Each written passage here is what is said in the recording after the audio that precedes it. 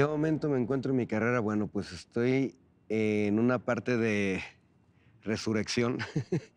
Nunca me he ido, pero la gente me pregunta todo el tiempo que dónde he estado. Y lo que pasa es que hay que entender los cambios generacionales de la música y que a lo mejor hay modas, hay tiempos para, para géneros nuevos y simplemente yo no quise cambiar a otro género, evolucionar a lo mejor para, para quedarme en la música que yo sé hacer, que son las baladas. Entonces estoy ahorita en un proceso de no reinventarme, sino encontrar el hilo negro para poder permanecer en la música que hago.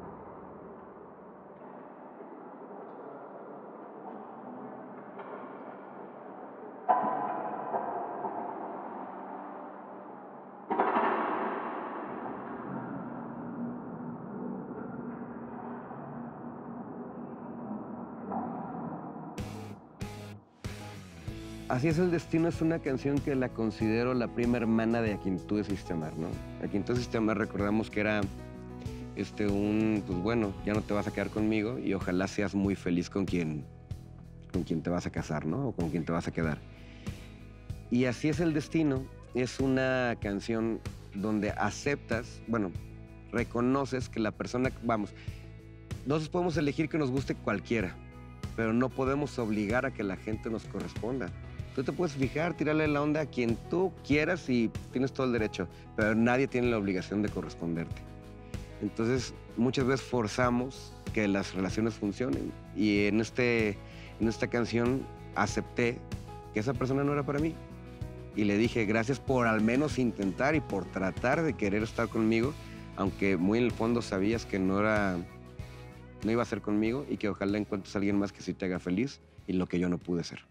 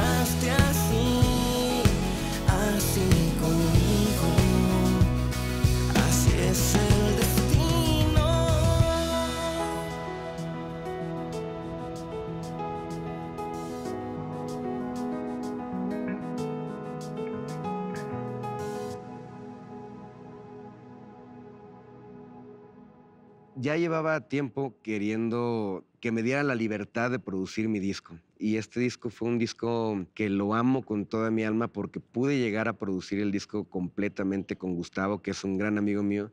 Yo nunca había grabado con una orquesta.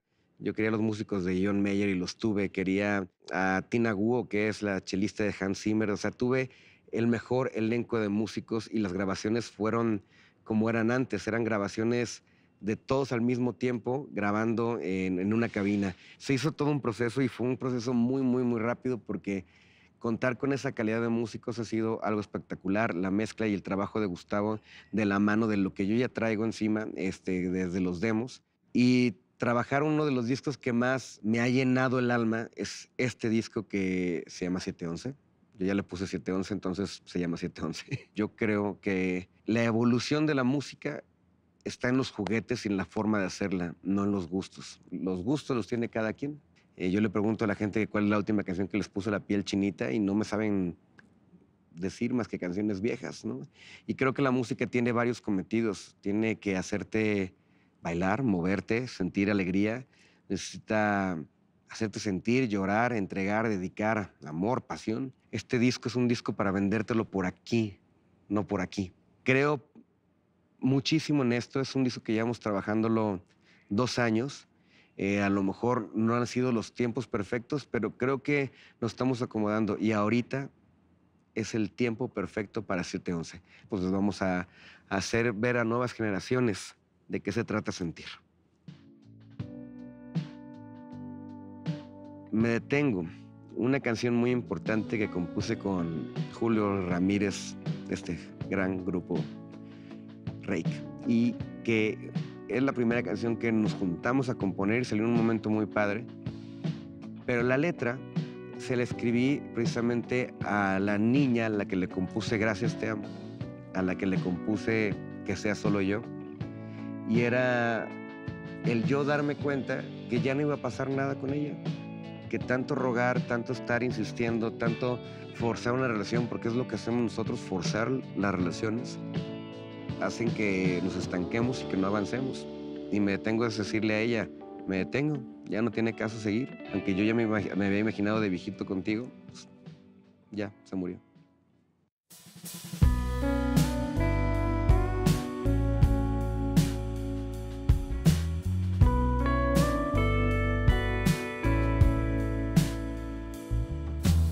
Aunque sabes que te sigo amando, aprovechas de mí. De tu mano tienes todo el mando y este ciego que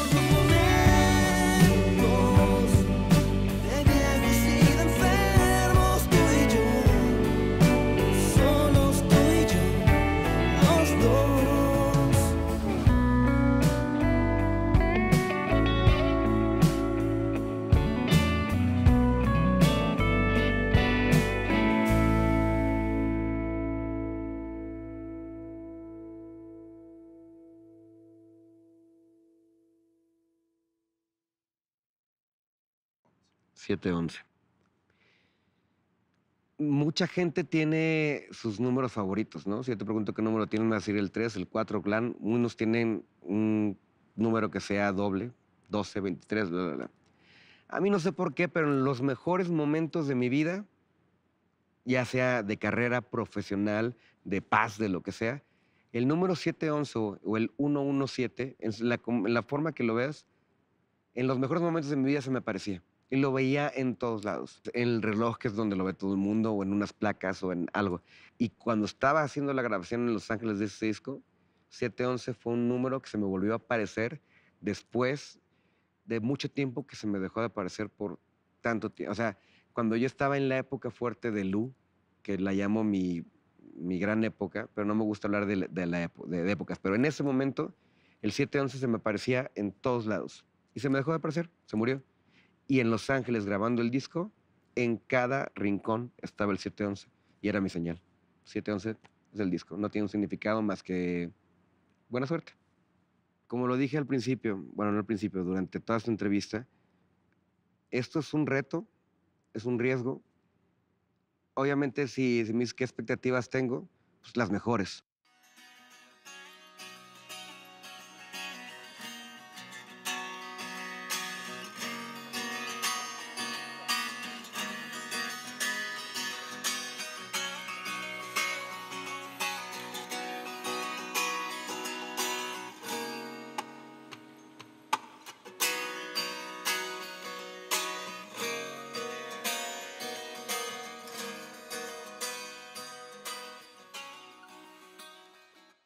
Mí este disco lo hice con el alma, con esa alma no minimalista, porque lo atasqué, le metí de todo. Yo no podría dejar un solo espacio vacío, es como decorar una casa, y si hay un poquito, un cuadrito blanco ahí que sobre, pues ahí le ponemos una postal o algo, pero yo quise atascar mi disco de todas las cosas que pudieran sumar.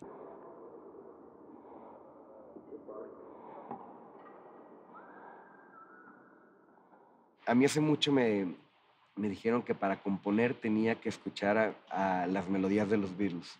Escoger a, Paul McCartney o escoger a John Lennon porque los tenían una forma diferente de, hacer las melodías.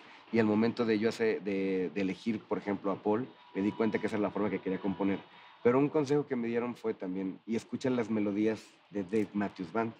Dave Matthews Band es una banda que puede tocar y hacer, ser y poner lo que quiera, porque le da lo importante a la gente que no le interesa la parte musical, que son melodías. ¿Qué hice con mi disco? Jugar con toda la parte musical sin importarme si le entendían o no, entregándoles una buena historia de amor, desamor, una historia cantable y una melodía fuerte.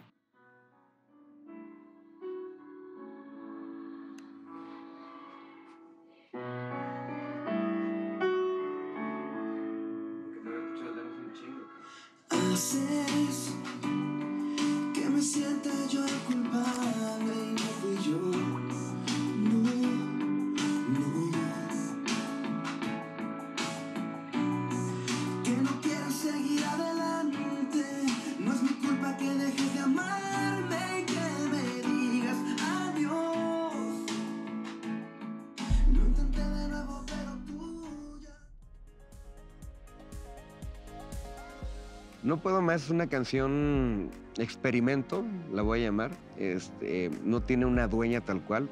Quería hacer una canción comercial, repetitiva, con elementos nuevos y que ah, hablara de que pues no puedo estar sin ti. Un cliché. Y eso hice.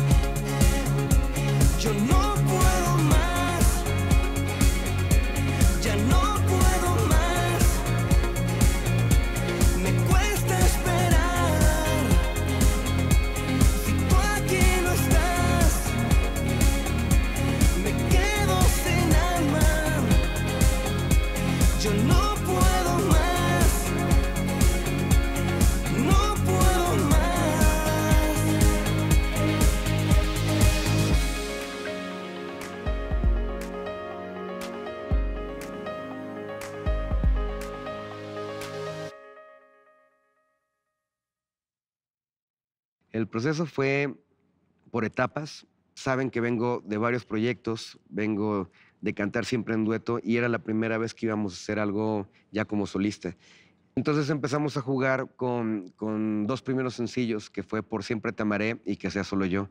Pero justo cuando entramos con esos sencillos es cuando viene todo el movimiento y la corriente de DJs, del movimiento hipster y la entrada de, de la música urbana. Aún así, decidimos hacer el disco.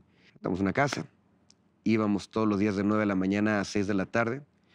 Era fabuloso despertarte con una misión que era hacer un disco maravilloso, sin presiones, sin gritos, sin egos, sin competencia. Fue un disco hecho con tanto, tanto amor que por eso no, no podía rendirme a, a no sacar eh, este disco. El proceso fue de paz y de amor y de mucho talento y de mucho respeto.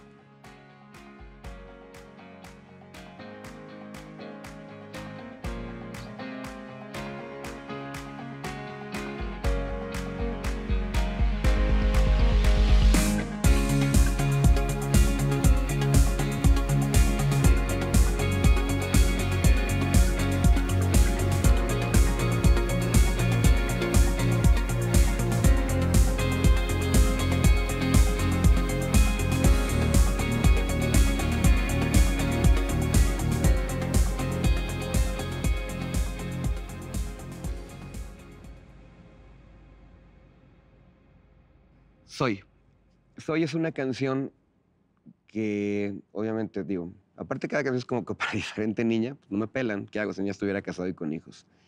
Eh, donde ella me decía, es que, ¿cómo podemos ser novios sin, o sea, tenemos que conocernos? Le digo, pues, ¿cómo te voy a conocer si no te dejas? Nunca quieres hacer esto, nunca quieres hacer nada, nunca quieres ver, bla, bla, bla, bla, nunca quieres. Pues, yo, si no, si quieres conocerme, pues mejor te voy a decir que me conozcas a través de una canción y yo soy quien te va a amar.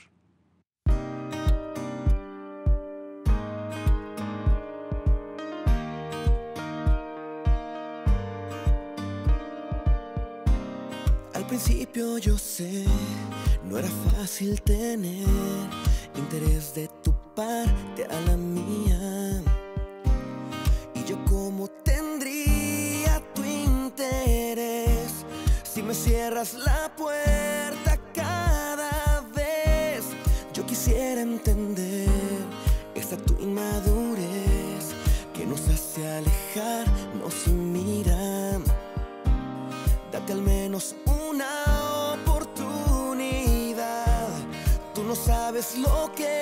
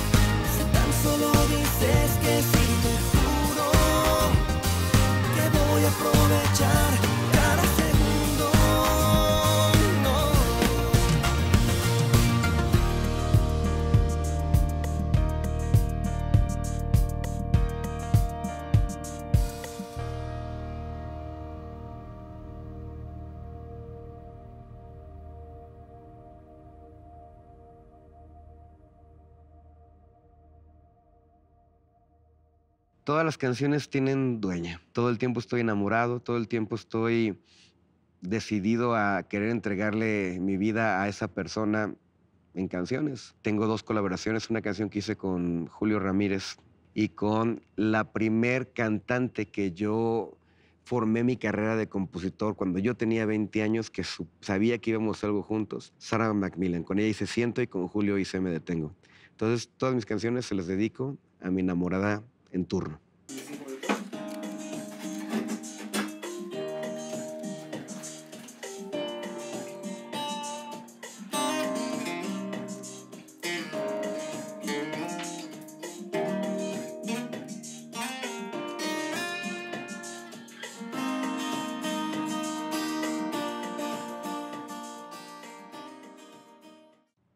Soy muy fan de John Mayer. Si me preguntan cuáles son mis influencias o qué me gusta de la música, te puedo decir miles, pero mi artista favorito actual, con disco nuevo, con todo lo que saque, es John Mayer.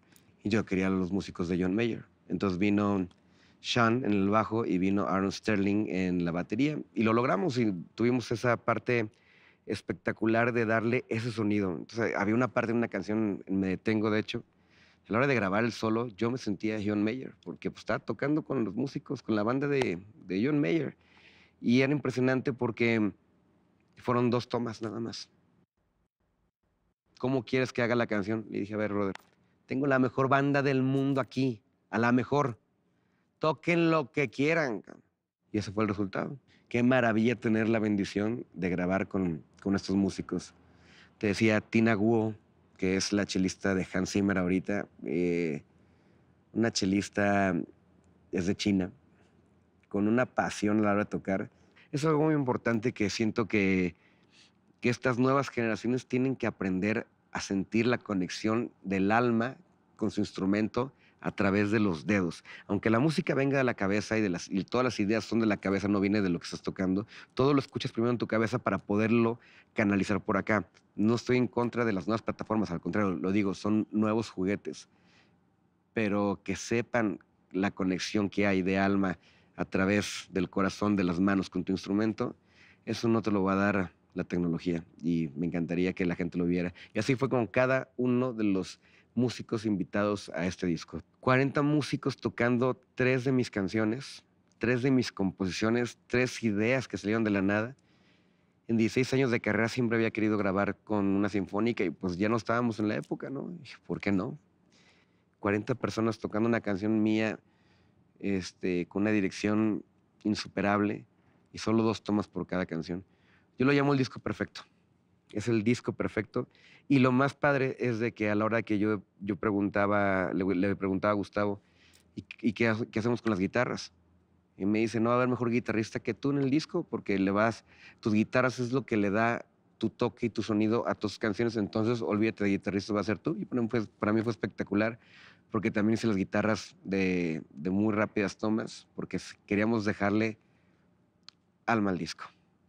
Creo que cuando alguien te descubre para dar música, compartir, cuando ya has eh, demostrado que puedes estar en los primeros lugares, que ya les has cambiado la vida a la gente, que mucha gente espera con ansia tu música. En todos mis discos había grabado guitarras, de hecho en el segundo disco de Lu tuve la oportunidad de grabar las guitarras, los bajos, los pianos, los teclados y la programación. Pero acá me quedé con las guitarras y estoy muy satisfecho. Soñé contigo es una canción de mis favoritas porque es una canción que compuse en 15 minutos. Son de esas veces que, que la magia llega sola. Siempre los, o sea, yo sueño más fuerte, más, estoy más lúcido cuando, cuando me echo una siesta, ¿no? Y los sueños vienen como muy cargados. Y en ese momento soñé con la niña que me encantaba y soñé una historia de amor fantástica y espectacular y sabes que los sueños no duran más de 20 segundos. Los sueños duran 20 segundos y luego se, se juntan con otro y entonces por eso dicen soñé bien raro. Bueno, eso fue, pero fue una historia de amor perfecta con ella. Yo me acuerdo que tenía que salir, ya estaban esperándome y decía, no, estoy cargado de inspiración y agarré mi guitarra y dije, tengo que hacer y tengo que escribir lo primero que salga. Y en 15 minutos compuse Soñé contigo.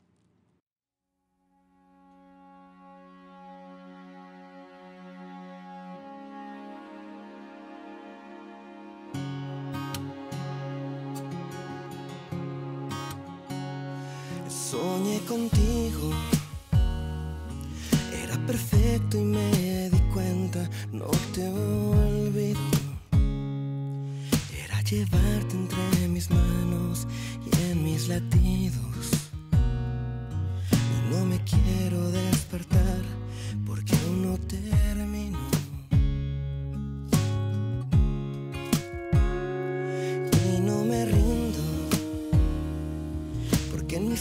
Tú en mi pecho descansabas. Sentía el aroma de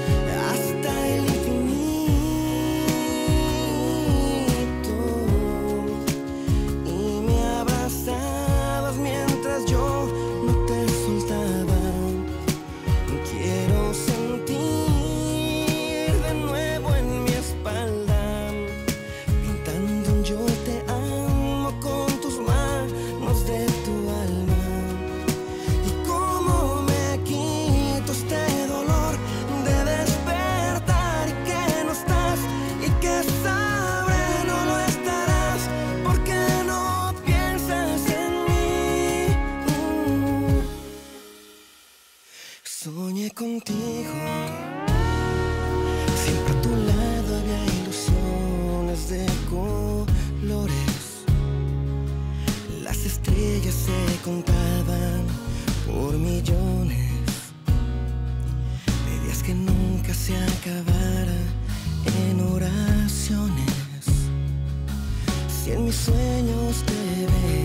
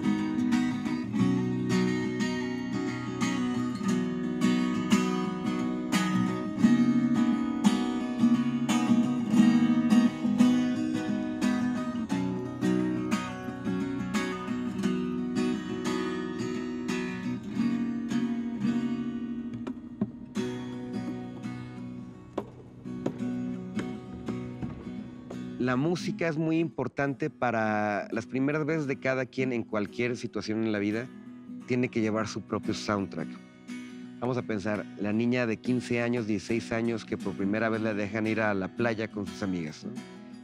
Este, va a salir por primera vez de antro, de fiesta con sus amigas, sin tener que ir con los papás a que las cuiden. bla, bla, bla. En cuanto lleguen al antro, ¿qué es lo que van a querer hacer? Van a querer ligar. Y cuando quieran ligar, la música que les pongan les va a marcar que es parte de los mejores momentos de su vida porque fueron los primeros. Digo, lo hemos visto con generaciones que crecieron con rock, que crecieron con la música disco, que crecieron con los DJs, que crecen con la balada, que crecen con lo urbano ahora. A cada generación le corresponde un soundtrack de vida. El mejor lugar para escuchar este disco, para escuchar 711, a todas horas del día. Es un disco que se puede escuchar a cualquier hora, cuando vayan manejando, cuando vayan estresados, cuando corten, cuando amen, cuando quieran dedicar, cuando se sientan solos, cuando quieran un consejo. Hay mil de puertas y oportunidades para escuchar mi disco y el de varios más que nos dedicamos a esto.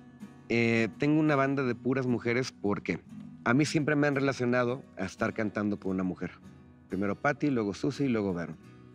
Pues ahora ya estoy solo, pero sigo teniendo a mis compañeras. Cuando me preguntan cuál es mi canción favorita, de las mías obviamente, yo no puedo decir ninguna porque todas fueron hechas en algún momento básico, en algún momento de desahogo. Todas las canciones son vómito de emociones. Eh, todas las canciones tienen un porqué y una razón. Yo soy de esos compositores que no se puede juntar con un compositor un martes a las 4 a hacer un éxito, un hit, porque no creo en la inspiración forzada, creo en la inspiración hecha a base de motivos. Y cada canción tiene un motivo, tiene una dueña, tiene una historia, tiene un pasado y tiene algo muy fuerte. De cada canción yo podría escribir un libro completo de la historia, del por qué, pero lo resumo una canción. ¿Qué canción sería la que más me identifico en este momento? Híjole. Sería Siento. ¿Por qué? Y esa es la canción que la letra es de Sarah Macmillan. Pero ¿por qué me identifico en esa canción? Porque justo estoy escribiendo un libro que ya lo verán. No vamos a hablar del libro porque será otra parte. Pero habla de no casarte con la piel. Y esta canción habla de un divorcio, pero ya vamos a hablar de eso.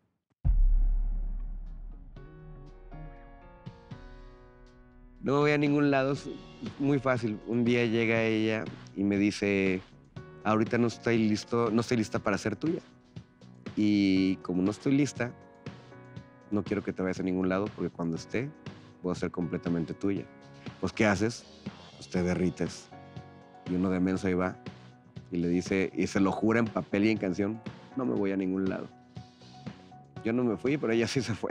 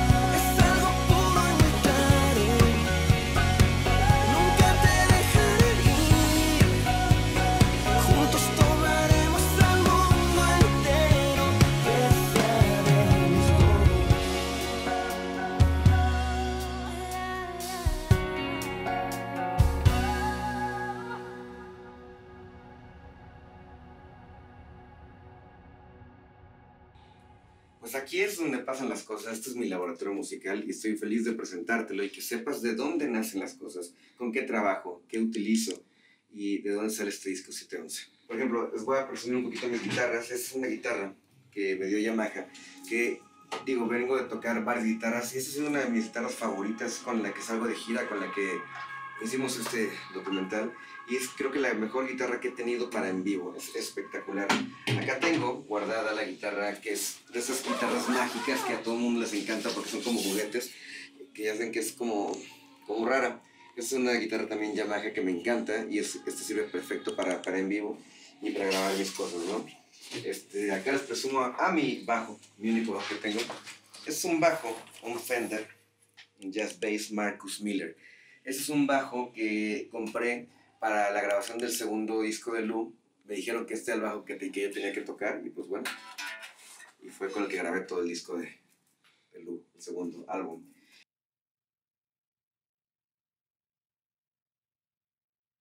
Creo que todo tiene un ciclo. Yo quiero permanecer en la, en la música y en el escenario toda mi vida. Y creo que lo voy a hacer. Lo que pasa es que no sé a qué escala. Uno tiene que aceptar que hay cambios, que hay que darle paso a las nuevas generaciones. O sea, las nuevas generaciones de artistas ahorita en algún momento van a tener que abrirle paso. Y los que siguen, y los que siguen, y los que siguen. Se quedan las leyendas. No importa qué éxito tengas o que no, es que has marcado. Para mí la carrera musical es que has dejado en el camino y creo que ya mm, con más de 21 sencillos creo que he dejado bastante huella y creo que tengo tela donde cortar para cantar hasta que me muera. Quiero hacer management porque creo que tengo muy, muy buen ojo para descubrir talento porque la gente dice, ya conmigo me dice, oye, tengo una prima que canta espectacular. Le digo, pues bueno, pues ahorita es que cantar es un plus, ya da igual si cantas o no. Y yo sí quiero llegar a la etapa donde la voz sea importante, donde la composición sea importante y donde la música sea importante. ¿Qué consejo me darías? Pues bueno, que buscar la vacante para que no hay allá afuera que tú lo puedas tener. ¿Cuál es el concepto que tienes que, que te pueda diferenciar de los demás?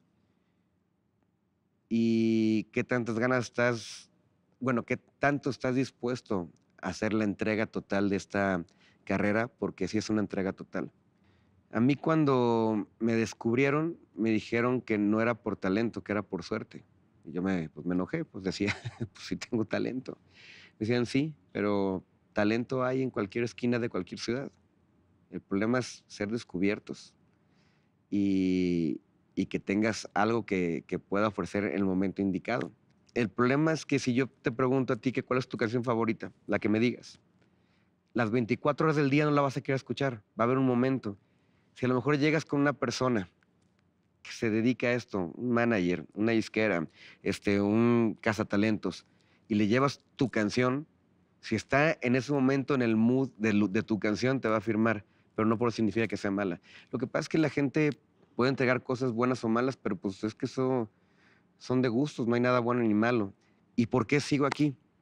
porque yo comprendí que esto es un negocio de canciones. Yo paso más tiempo en el estudio de grabación que en el gym. Paso más tiempo comprando guitarras que ropa.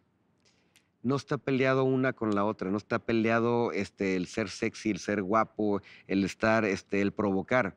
La gente y todas las generaciones necesitan un ídolo de quien enamorarse. No confundan el éxito con la trayectoria, no confundan eh, tu trabajo con que está bien o está mal. Cualquier cosa que uno haga que ya haya dado respuesta, para mí es quédate ahí. Evoluciona con los juguetes, pero no evoluciones con los gustos. Al menos tratas una canción que tú fallaste, pero al momento en que fallaste, lo aceptas, aceptas tu error, pides perdón pero te traen ahí, te traen ahí de tu juguete. Entonces como que en la canción dices, ya fallé, ya lo hice todo mal, ya te pedí perdón, ahora qué quieres que haga? O me quieres o me dejas ir. Y creo que mucha gente va a estar pasando por ese, esa etapa en la que es bueno, dicen que reconozcas tus errores, los reconoces y aún así te siguen recordando la herida, pues yo creo que dependiendo del error, obviamente, pero pues es eso, quiéreme o déjame ir, al menos trata.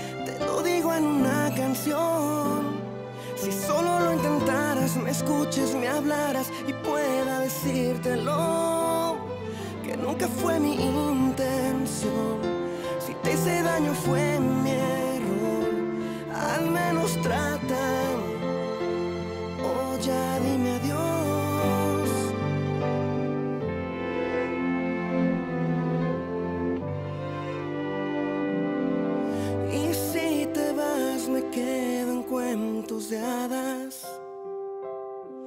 Por favor te lo suplico, háblame. No quiero imaginarme que tal vez esté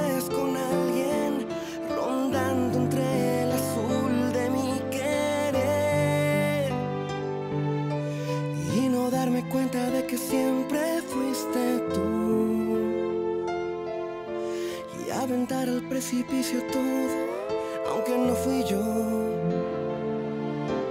En mis sueños siempre te veía y te perseguía. Y en mis fantasías te tomé y te tuve aquí. Tan solo te pido perdón, te lo digo en una canción me escuches, me hablaras y pueda decirte no, que nunca fue mi intención. Si te hice daño fue mi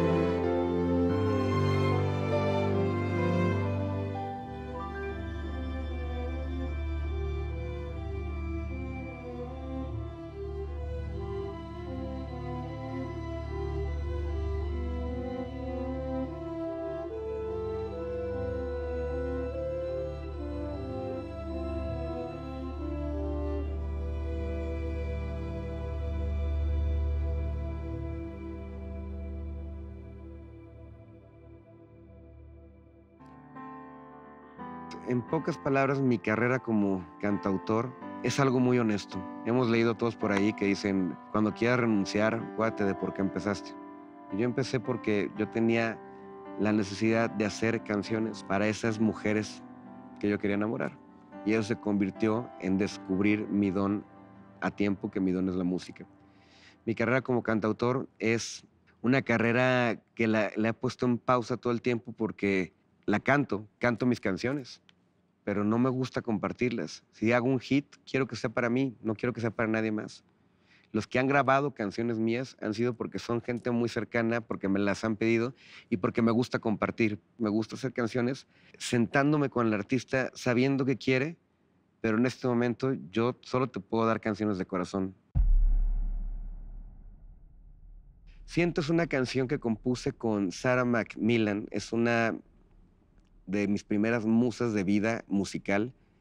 Fue mi primer compañera de viaje en música antes de, la misma Patty, eh, cuando yo tenía un proyecto anterior como grabando mi primer disco que nunca salió en Miami.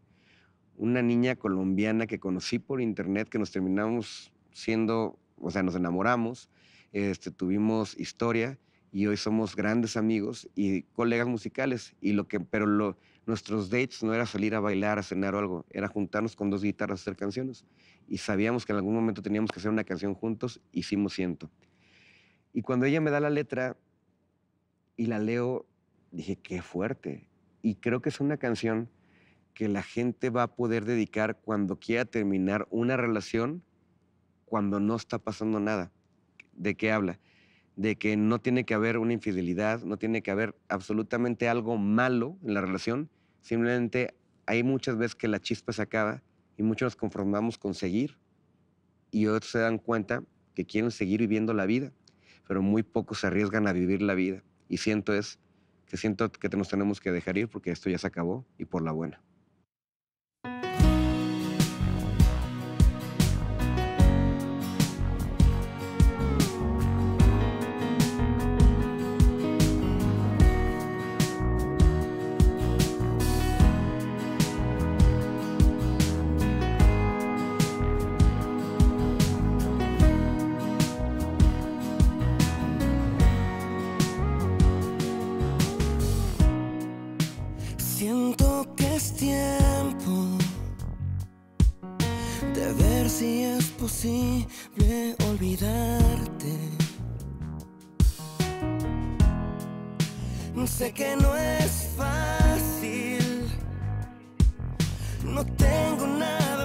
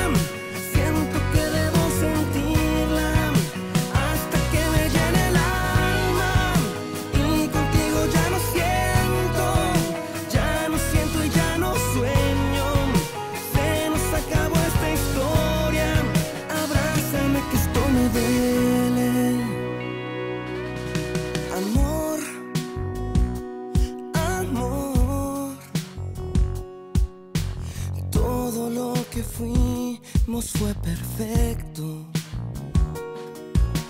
Las conversaciones infinitas se quedan todas en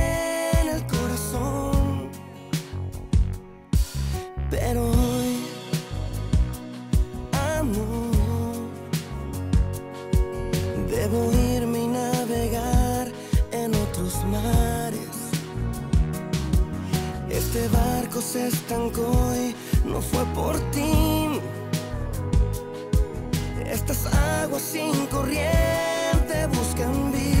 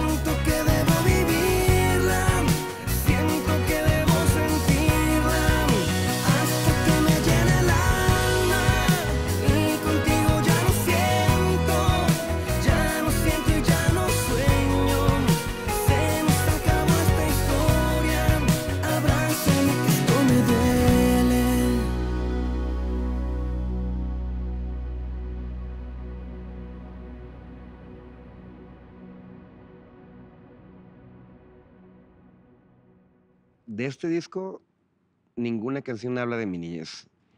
Creo que ninguna canción que he compuesto en mi vida habla de mi niñez. Hay una canción que yo compuse en el segundo disco de Lu, que se llama Voy a llorar, pero la compuse, es la primera canción que me compongo a mí. Siempre mis canciones son dedicadas a alguien, pero esa fue la primera canción que me compuse a mí y que habla de, a lo mejor, todos los sacrificios que uno tiene que pasar para llegar a querer hacer lo que uno es, ¿entiendes? Y en cualquier profesión yo creo que uno sacrifica bastantes cosas para ver resultados pronto y hace poco vi algo muy importante que decían que la gente se a la gente nomás le gustan tus tus éxitos, no tu, tu trayectoria de peligro de todo lo que sufriste para poder llegar. Y en esa canción plasmo lo que fue. Pero bueno, es una canción del segundo disco de Luz, si lo quieren escuchar, pues ahí está. Yo voy a llorar el artista más importante para mí no hay uno, o sea, hay muchísimos. No podría poner como un top five, más bien pongo el pool. Pero los que han marcado para mí para hacer la música, pues Peter Gabriel, que es para mí lo máximo, John Mayer, Michael Jackson, aunque no hago la música como él, pero pues Michael Jackson. Me gusta Dave Matthews Band, me gusta, es que me gustan mucho las bandas, soy de, otra generación, soy de Phil Collins, de Sting, de de toda esa generación de artistas, de The Cure. ¿Canciones? que me preguntan cuál es mi canción favorita del mundo, siempre digo que es la de In Your Eyes, de Peter Gabriel. Me encanta y no sé ni de qué hable, porque yo con mis canciones, este, yo nunca me fijo en las letras y, y afortunadamente mis letras son lo que le ha cambiado la vida a la gente. La gente me habla, me escribe, se me acerca por mis letras y yo soy más clavado por la música. Afortunadamente también tengo ese lado poeta que no me di, no me di cuenta que podía escribir y llegarle a la gente. Canciones como Time After Time de Cindy Lauper. Soy de la vieja escuela. Y bueno, acá esta guitarra es una guitarra que la ven normal. Es una guitarra flamenca, es una guitarra española, de verdad, las mejores guitarras que yo he visto es una Córdoba. Es espectacular, se toca bastante bien. Es que bien, ya se me rompió. Si conocen un laudero me avisan. Este, y aquí estamos. Es una de las mejores guitarras para grabar cosas que hacen lo que yo traigo. Esta es mi guitarra maestra, mi favorita, una PRS. Con esta he grabado todos, todos, todos mis discos. Es como la, la, que algún día, cuando me muera, va a estar en un hard rock y no se va a poner. Entonces con esta guitarra se grabó, se grabó todo. Y tenemos ahora esta guitarrita. Es un tour largo, pero aguántense. Tenemos esta guitarra, que es una chiquita también de Yamaha, que esta es con la, como la que utiliza Ed Sheeran para hacer sus cosas de loops, que también ahorita les voy a enseñar, que ya tengo también mi pedalera. Y con esto vamos a empezar a hacer como todo lo el... Todas las cosas de loops que les voy a empezar a sorprender. Con esto no he grabado nada todavía, pero vienen cosas. Está muy interesante esta guitarra. Yo pensaba que era una guitarra nada más para viaje y no. Tiene muchísimas funciones, no me di cuenta. Esta, esta guitarra eh, es un Fender, una Fender Jaguar, pero no es ni guitarra, no es ni bajo, es un barítono es un juguete. No lo llamo como un instrumento principal, pero saca, te da unos sonidos bastante espectaculares y unos sonidos que, que decoran. Son como las esferas de arbolito de Navidad. Si ven polvo, no es por sucio, es porque la Ciudad de México no te pudo dar nada limpio más un día. Luego, tenemos esta otra guitarra que me mandó Fender. Cuando me preguntaron qué quería, una Telecaster o una Stratocaster, dije, no, quiero una tele. Como que me gusta mucho la forma en la que rasgueas, porque saben que mi pasión es el, el funk. Y esta es una de las guitarras que más gozo tocar y es la que yo me llevo a, mis conciertos y a las giras. Aquí, ah, por cierto, aquí están pósters de sencillos pasados, de Por Siempre Te Veré y de Cómo Te Quiero. Un trapo. Trato de limpiar mis guitarras, aunque no parezca, pero ahí están. ¿Este es un ukulele? No, es un guitalele. Que sea solo yo. Pues bueno, ahí finalizamos la, la recta de cuatro canciones para esta misma persona. Y es de las canciones también más tristes que he compuesto en mi vida. Yo la considero de mis masterpieces, o sea, de mis mejores obras. Y sí lo voy a decir toda mi vida, ¿no? Desgraciadamente esa canción que ya salió, esa ya, digo, aunque es parte de este documental, es una canción que ya saqué sencillo, salió en el peor momento que tenía que salir, porque era el fin de la balada. Y creo que esa canción a lo mejor en, en otra época hubiera sido número uno mundial por lo que es, ¿no? Por la forma melódica, por los acordes, por la música, por el sentimiento entregado en la canción, pero por la historia, ¿no?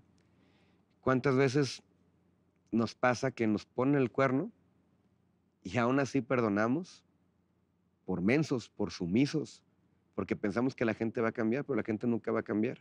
Y todavía le queremos decir a esa persona de que tiene otra oportunidad, de que órale, pues te perdono, pero si va a ser conmigo, que sea solo yo. No me siento bien.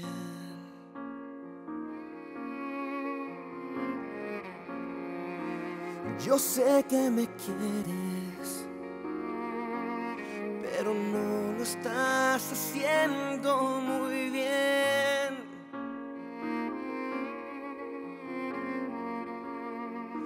¿Cuánto te pedí? Que no me hicieras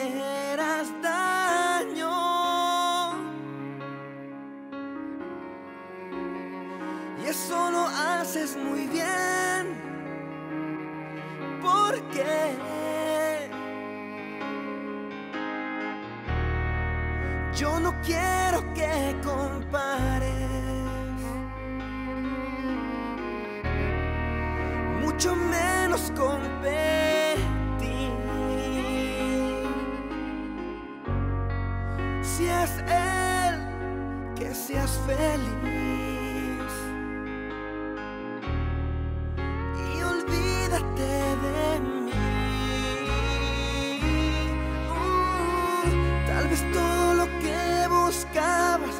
En mí. Y quizá te dio miedo porque tantos te mintieron.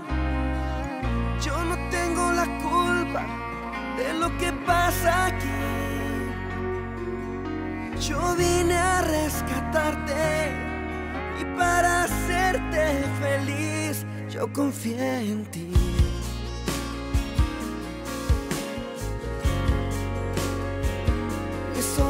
Mentiste.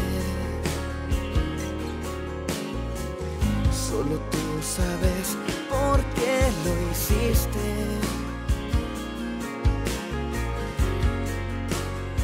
Pues no me quieres perder.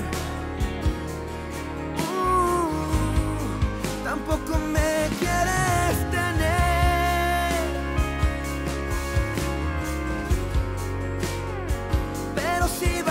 Conmigo que sea solo yo. Tal vez todo lo que buscabas lo viste en mí y quizá te dio miedo porque tantos te mintieron. Yo no tengo la culpa de lo que pasa aquí.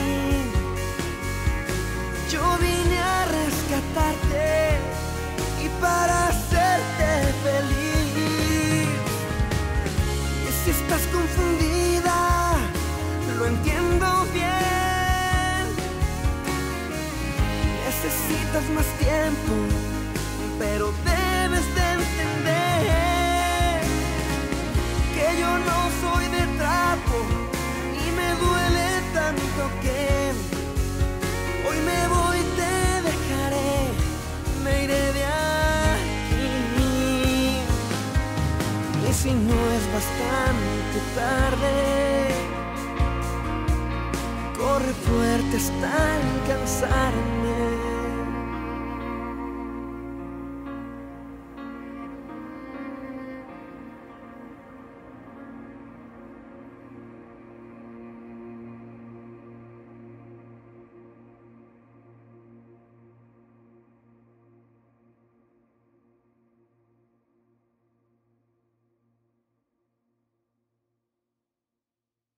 ¿Qué me hace más feliz? ¿Producir, componer o cantar?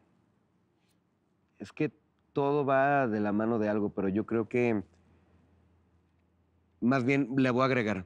Me hace muy feliz componer cuando traigo un motivo desgarrador para poder hacer la canción. O sea, porque no me hace feliz sentarme a componer si no tengo inspiración.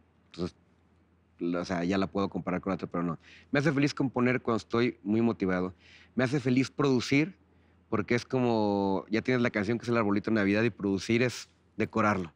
y decorar un arbolito en Navidad siempre va a ser muy divertido y muy padre. Entonces me encanta. O sea, poder sonir, subirle, porque ya no estás tocando, ya no estás creando, ya nada, ya nada más estás este, direccionando tu canción.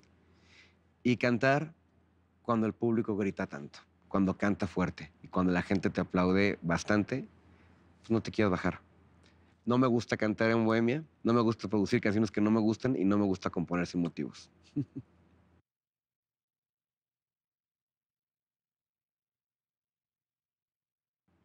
Yo creo que a, medida que el mundo avanza, avanzamos también y nos podemos quedar atrás. O sea, hoy cualquier ser humano ya no puede vivir sin su teléfono cerca. Y no porque quiera estar o en WhatsApp o, o viendo fotos, sino porque ya es tu herramienta para todo. Tu calculadora, tu lámpara, tu coche, tu estacionamiento, pagarlo. O sea, ya todo gira atrás del teléfono. Y si no lo tuviéramos y quisiéramos regresar a como era antes, pues nos da flojera. Obviamente, a mí me gustan los discos, pues como no, yo crecí.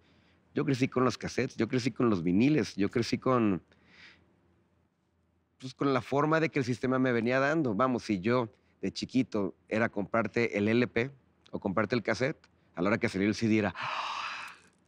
Y decían que el CD perdía calidad, y no es cierto. Luego sale el MP3, sale la piratería, sale todo, pues hay que avanzar y sacarle provecho y no estarnos como quejando de lo que, lo que fue y cómo era antes.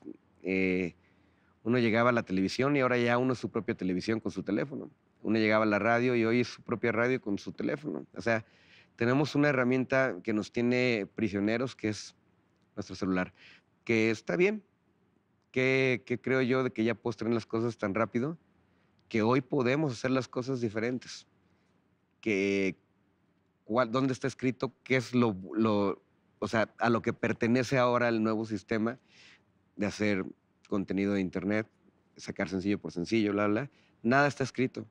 Nosotros somos esta generación, no importa la edad que sea, que está redefiniendo el sistema del entretenimiento.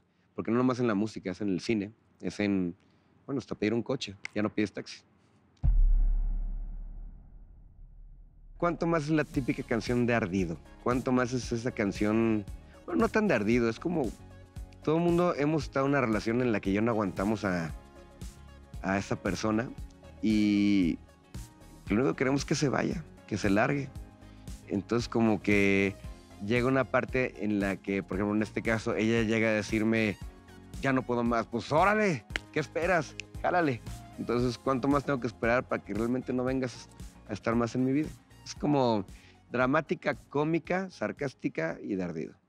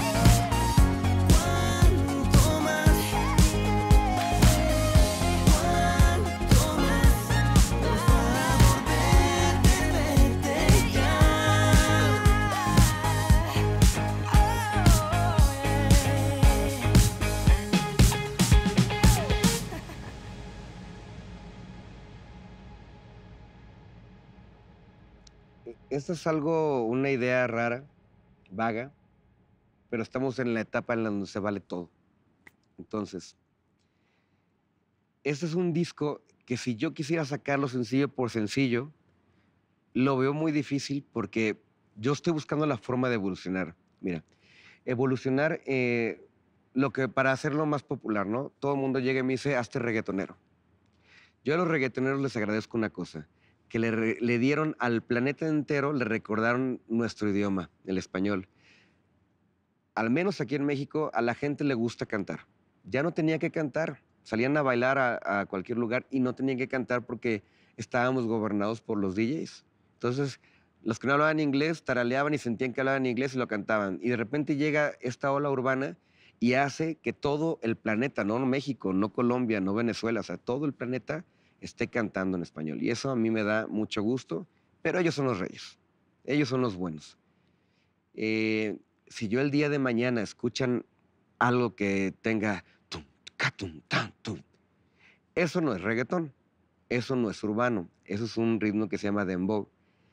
La forma en que tú utilices ese tipo de, de ritmos musicales a tu estilo musical te puede llevar a pertenecer a un nuevo sistema y un sonido, que es el que estamos trabajando ahorita en encontrarlo. Pero si yo quisiera sacar de esta producción, que venimos trabajándola en dos años, sacar todas estas canciones sencillo por sencillo, sí me voy a estancar. Entonces, para antes de pasar a una evolución musical y ver si realmente hay gente allá afuera que necesita estas canciones y ver si yo me puedo quedar con mi guitarra, mi bajo, mi batería, mi piano y seguir haciendo discos toda la vida así, yo el más feliz. Pero vamos a ver el resultado con esto, llamándolo el documental 711. Si todavía la gente lo quiere escuchar, lo quiere percibir, lo quiere sentir y ver, y ver qué pasa, y si no, avanzamos. No es un... No estamos sacando un disco para sacar sencillos. Estamos sacando todos los sencillos de, de golpe, todos de una. No les vamos a, no vamos a promocionar una sola canción, vamos a, pro- a promocionar las 14 canciones de golpe. Y por ahí vamos.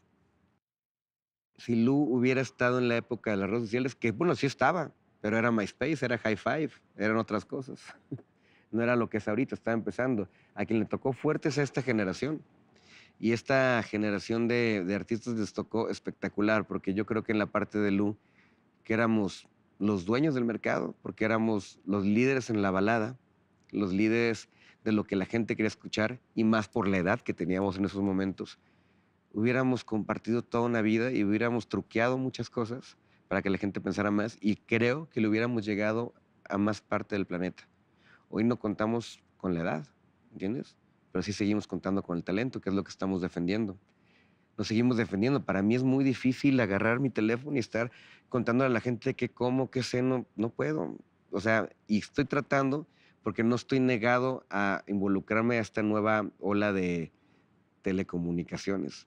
Y, lo estoy- y estoy aprendiendo y sé que lo voy a hacer bien. Pero si a Lulu hubiera tocado, creo que ahorita estuviéramos tocado en Japón. Dame la mano, suéltame, pues es parte como al menos trata, ¿no? Es una canción donde ya he hecho todo lo que me has pedido, ya estoy ahí, estoy rogando, estoy demasiado haciendo lo que tú quieres y aún así no logro conseguir nada. Por ahí el dicho de que ni todo el amor, ni todo el dinero. Y por eso es, dame la mano, suéltame, porque no me la quieres dar, pero tampoco me quieres dejar ir. Entonces, ¿para qué me quieres?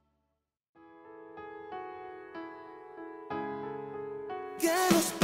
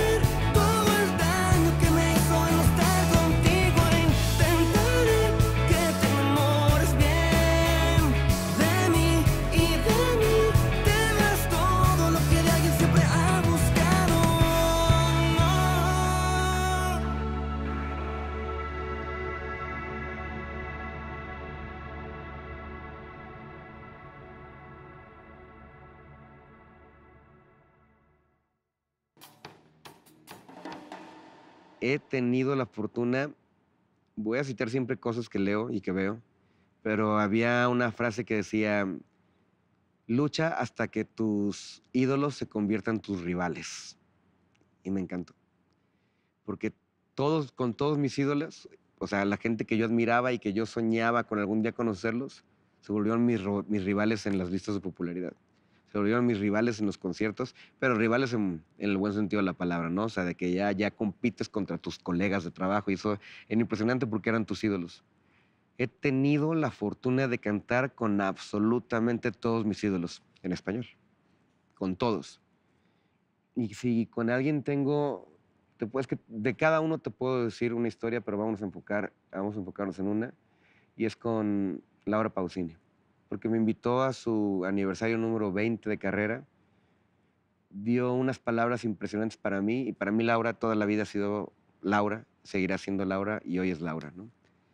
Lo que dijo de mí, de que ella en la prueba de sonido, cuando estábamos cantando, volteara y me tocara y me decía, me dijo, mira, y la piel de ella chinita, ya no puedo pedir más nada. He logrado mucho.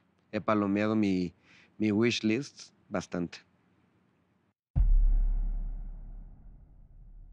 Híjole, esa sí es, otra historia.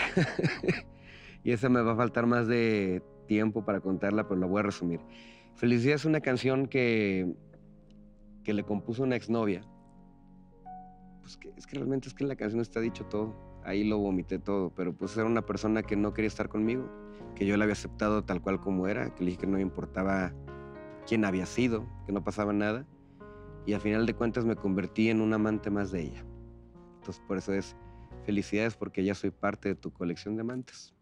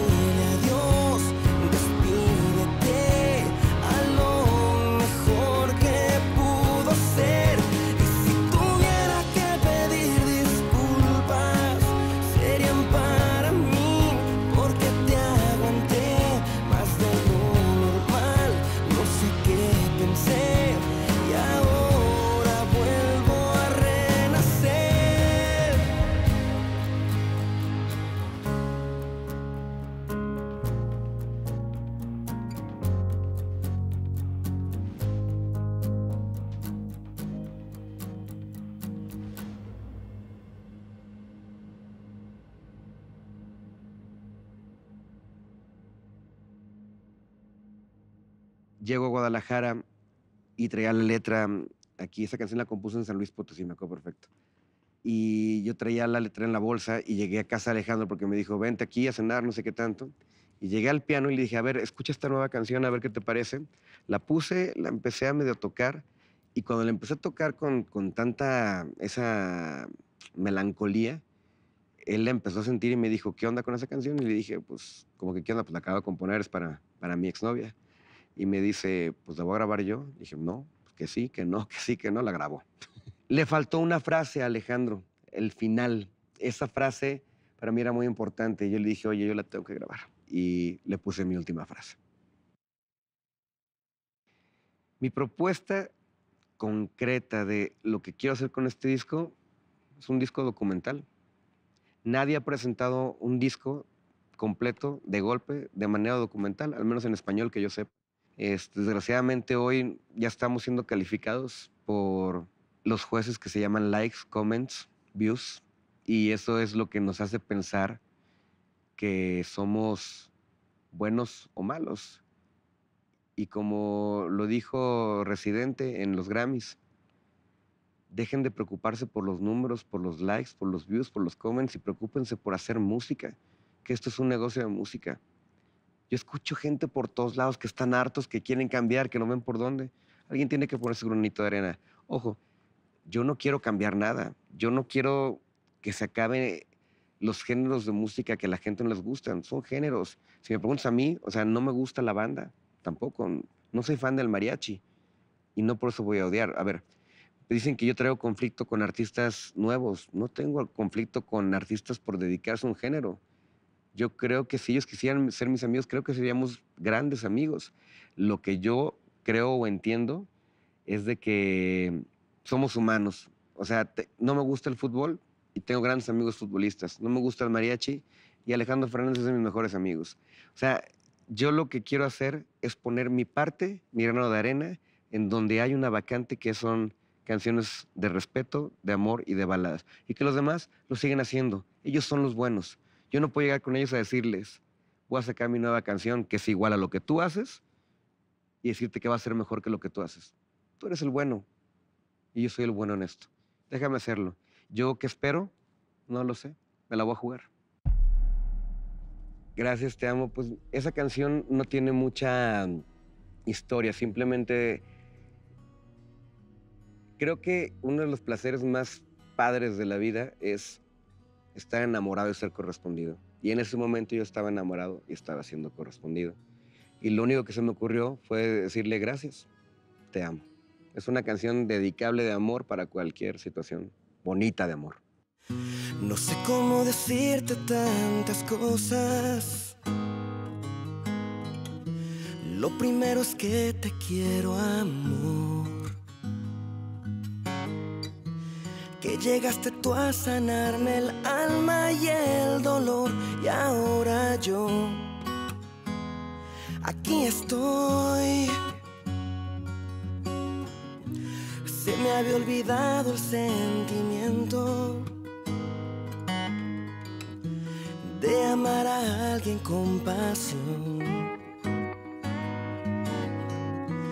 De sentir que vuelo y que aquí todo es perfecto. Y mira yo, de aquí no me voy.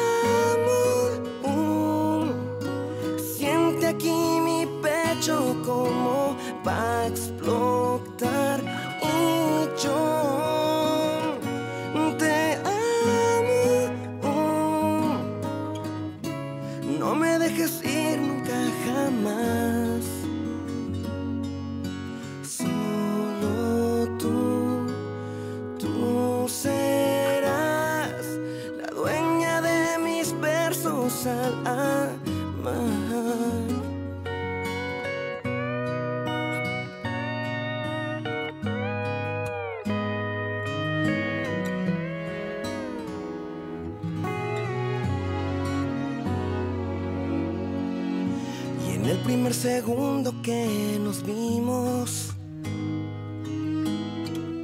mi corazón se convirtió en mi voz.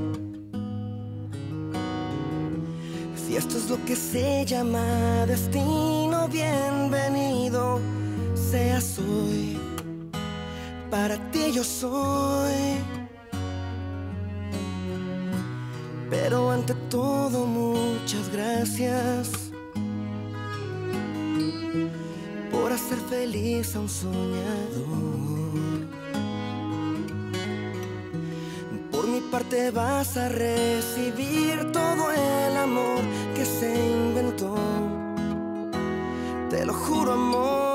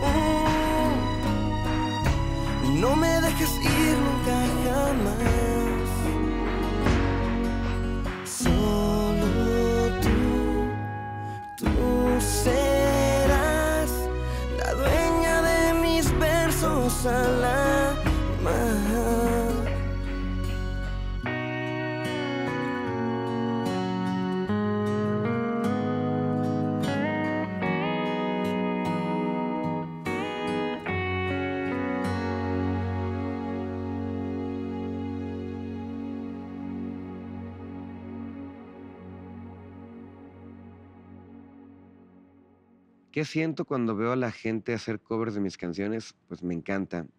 Me da emoción. Lo que más me da emoción es ver a los niños. Niños que no crecieron con mis canciones y que quieren cantar sus canciones porque a lo mejor sí, la escucharon de su mamá o sus hermanos lo que sea y se les quedó pegada y la quieren aprender. Ver a niños con un instrumento tocando este, mis canciones me encanta. Y cuando cada, cada persona que graba una canción mía y que se filma y que lo sube a YouTube y que tiene ese tiempo, para mí es un homenaje. Yo le agradezco a cada uno. Sean pocos, sean muchos, pero con uno solo tiene para, para merecer mi respeto. Mi primera canción la compuse cuando tenía seis años. Siempre he sido muy enamorado. Me enamoré de mi vecina, una gringa, y se llamaba Teresa. Y yo no sabía cómo llegar, qué decirle, pues a los seis años, ¿qué? Y agarré un teclito que está en mi casa y ahí le compuse una canción. O sea, desde ahí yo ya sabía que podía hacer canciones.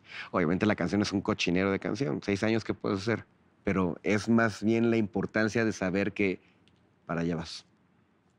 Pero esto se toca como guitarra, no se afina como la cuerda, pero suena como, como ukulele. Y es también es un juguete para adornar y decorar y también para componer. Ahí tengo un violín y un saxofón que estoy todavía en el proceso de tocarlos cada vez mejor antes de empezar a grabar. Aquí tengo mi pedalero, ya saben todo lo que necesita un guitarrista para, para hacer magia con todo eso. Y trabajo con mi estudio, trabajo en Pro Tools, trabajo en Ableton y ahora voy a empezar a trabajar en, en Logic. Son plataformas que son con lo, con lo que yo decía, la evolución de la música no está en los gustos, está en los juguetes y cada vez vamos a tener más juguetes. Es la, la, lo que yo llamo no mi estudio de grabación, sino mi laboratorio donde yo creo las cosas. Entonces tengo todo conectado, me va a faltar una batería aquí eléctrica que voy a conectar y se trata de jugar, de buscar los juguetes y de hacer la música de la mejor manera. Entonces, pues bueno, si querían ver, eso es lo que yo necesito para crear música para ustedes. Y aquí nacieron todas las canciones de este 711. Por siempre te amaré de, fíjate, yo siempre hago canciones este, de dolor, melancólicas y tristes. Y esta canción de Por siempre te amaré es una canción de amor. Simplemente es un juramento de amor. Otra niña. Con todas me quise casar, con todas me quise ya. No es que sea mujeriego, es que no me pela ninguna. Entonces, por siempre te amaré, fue un pergamino escrito y un juramento a la vez para esta niña diciéndole que siempre iba a amar. Entonces, la canción realmente no tiene una historia tal cual que contarse más que el título es Por siempre te amaré.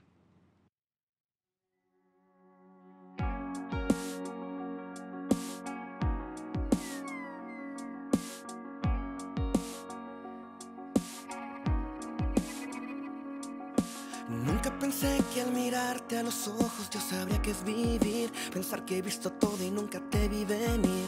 Hacer a un lado todo para estar para ti. Hoy sé que las ganas que tenía perdidas han vuelto porque toda mi vida aquí yo siempre te esperé.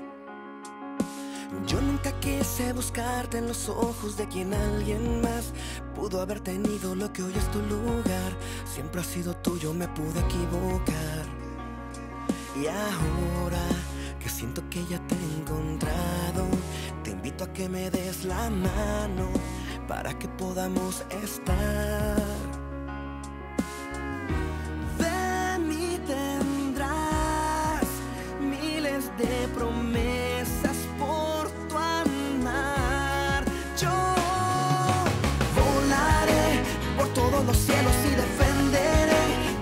Por el océano y juraré que nada te hará daño, solo bésame, que yo a tu lado viviré el día y la noche solo para ser guardián de tus manías, quiero proteger que tengas cada día esa pasión de ser de quien me enamore.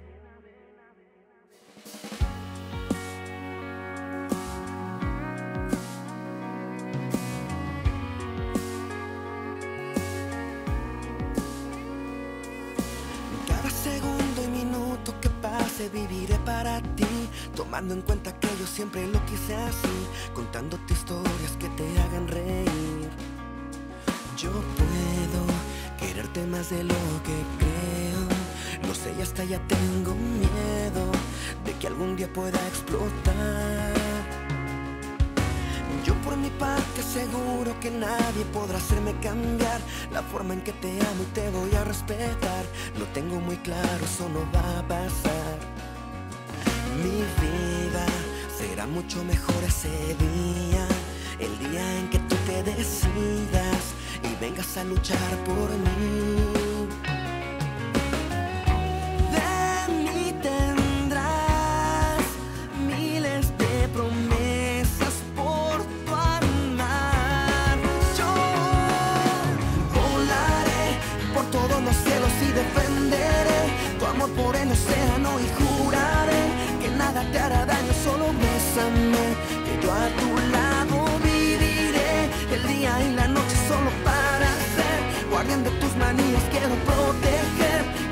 Cada día esa pasión de ser de quien me enamoré.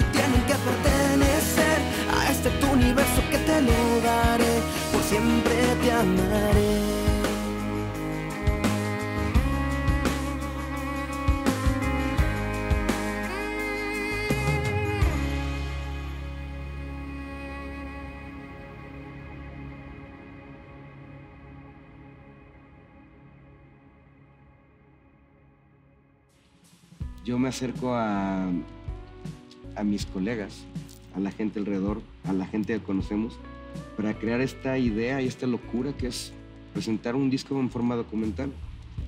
Hablamos con Matatena, con Latro Films, con Warner, este, con Beto, mi manager, y empezamos a diseñar esto de cómo lo haríamos sin, sin nada. O sea, meternos a grabar las canciones que ya están grabadas, obviamente, presentándolo con mi banda, este, buscando una textura y un ambiente que fuera como si, como las viejas bandas. Yo entiendo que si tú hoy ves en cualquier red, en cualquier programa, en cual, de cómo se hace la música hoy en día, todo es en un mini escritorio con una laptop y con una computadora y esa es la forma, es el viejo garage de las bandas de, de rock, ¿no? Aunque yo no sea rockero, creo en el garage. Y tenemos un ultra garage aquí, de aviones si quieren. Vamos a llamarlo hangar. Y decidimos tener la onda vintage de, de hacer este, esto que están viendo. Una parte que fuera bajar a la cochera de tu casa, poder agarrar tus instrumentos, decirle a tus cuates, no pretender nada, este, tocar divirtiéndonos, tocar por amor a la música y que vean que de eso se trata y que el origen de la música es el origen de la música a través de los dedos y tocar tu instrumento y conocer. Cuando te digan, es que tú no sabes de música, tienes que saber de música es que hay tres tipos de instrumentos, de viento, de cuerda y de percusión. Saber de música es do, re, mi, fa, sol, así. Lo demás son gustos y cada quien tiene su forma de hacer la música. Yo respeto a toda la gente su forma de hacer la música. Yo voy a incursionar a hacer la música de la nueva manera que es los nuevos juguetes. ¿Por qué? Porque no estoy negado y creo que tengo la capacidad suficiente de meterme a entender y participar y crear mi nuevo momento. Pero de mientras, que la gente disfrute, ¿qué se siente bajarte al garage a tocar con tu banda? Entonces creo que todo este equipo de trabajo, la forma en que lo hacemos tan orgánico, la forma en que lo hacemos tan, tan yo jalo, así lo voy a llamar, yo jalo, todos jalan y todos están eh, haciendo su labor de una manera sin violencia, no hay gritos, no hay desesperación, no hay nada, simplemente lo estamos gozando, que aquí estamos y que quiero decir que lo logramos y que ojalá, que ojalá esto llegue a varios corazones. Y sí, ni modo, van a tener que ver, aunque está por aquí, ahora van a tener que ver. Tan tan.